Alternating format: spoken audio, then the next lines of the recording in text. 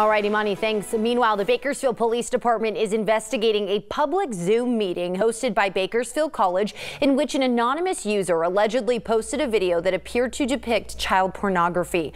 According to BPD, the college was hosting a meeting at 3 p.m. Monday about the school's response to COVID-19. During the meeting, a video was posted by an unknown meeting participant that allegedly showed illicit sexual acts with a child.